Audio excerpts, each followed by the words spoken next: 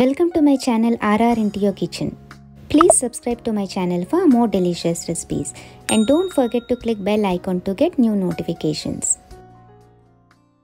hello friends ఈరోజు ఈ వీడియోలో ఆంధ్ర సైడ్ వినాయక చవితికి ఎంతో స్పెషల్గా తయారు చేసుకునే బెల్లం ఆరతిని ఎలా తయారు చేసుకోవాలో చూద్దాం. ఈ ఆరతి రెసిపీని వినాయక చవితికే కాకుండా ఏ పండగలకైనా ఎలాంటి స్పెషల్ అకేషన్స్కైనా కూడా తయారు చేసుకోవచ్చు. సో ఆలస్యం లేకుండా ఎంతో రుచికరమైన ఈ రెసిపీని ఎలా తయారు చేసుకోవాలో ఇప్పుడు చూద్దాం. సో ముందుగా ఒక బౌల్లో రెండు టేబుల్ స్పూన్ల శనగపప్పుని తీసుకొని కొద్దిగా నీళ్ళు పోసి ఒక పది నిమిషాల పాటు నానబెట్టుకోవాలి. మీరు కావాలంటే శనగపప్పు బదులు పెసరపప్పు కూడా యూజ్ చేసుకోవచ్చు.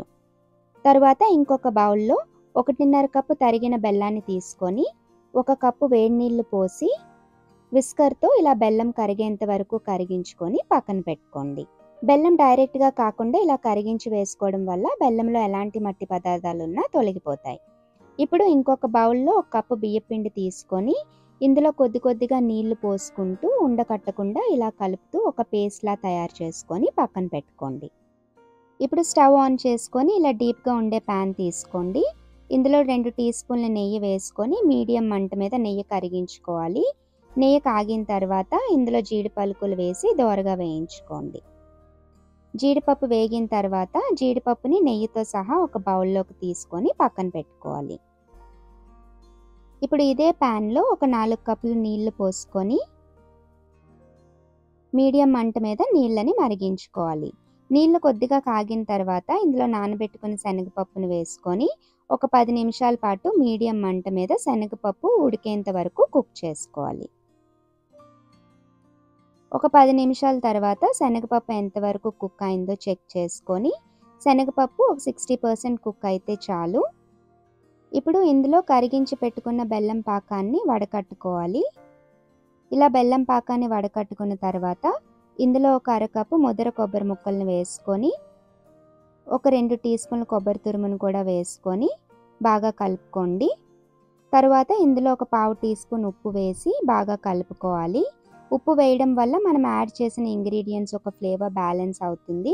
ఇప్పుడు దీన్ని పది నిమిషాల పాటు మీడియం మంట మీద బెల్లం పాకం బాగా మరిగి కొబ్బరి ముక్కలు కూడా కొద్దిగా లైట్గా సాఫ్ట్గా ఉడికేంత వరకు కుక్ చేసుకోవాలి.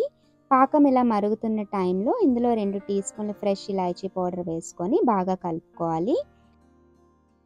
ఒక పది నిమిషాల పాటు బెల్లం పాకం బాగా మరిగి కొబ్బరి ముక్కలు ఇలా లైట్గా సాఫ్ట్గా కుక్ అయిన తర్వాత మంటను పూర్తిగా లోలో పెట్టుకొని ఇందులో ముందుగా కలిపి పెట్టుకున్న బియ్యం పిండిని ఉండకట్టకుండా స్లోగా ఇలా కలుపుకుంటూ యాడ్ చేసుకోండి. బియ్య పిండి ఉండకట్టకుండా పూర్తిగా పాకంలో కలిసేంత వరకు బాగా కలుపుకోవాలి.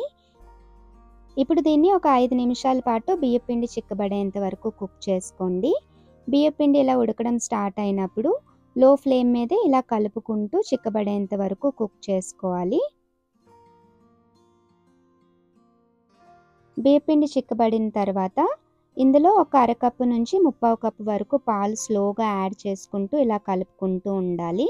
పాలు యాడ్ చేసుకోవడం అనేది కంప్లీట్లీ ఆప్షనల్. ఒకవేళ మీరు పాలు వద్దనుకుంటే పాలని స్కిప్ చేసేయచ్చు. ఇలా పాలు పూర్తిగా ఆరదిలో కలిసేంత వరకు బాగా కలుపుకోవాలి.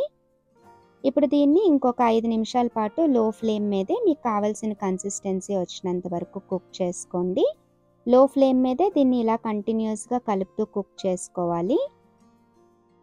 ఒక ఐదు నిమిషాల తర్వాత వేయించి పెట్టుకున్న జీడి పలుకులు ఒక టీ స్పూన్ నెయ్యి వేసుకొని బాగా కలుపుకొని ఇంకొక నిమిషం పాటు లో ఫ్లేమ్ మీదే కుక్ చేసుకోవాలి. ఇలా ఈ కన్సిస్టెన్సీ వచ్చిన తర్వాత స్టవ్ ఆఫ్ చేసేసుకోవచ్చు. ఈ కన్సిస్టెన్సీ దగ్గర స్టవ్ ఆఫ్ చేసేయడం వల్ల ఆరతి చల్లబడినా కూడా గట్టిపడకుండా ఉంటుంది.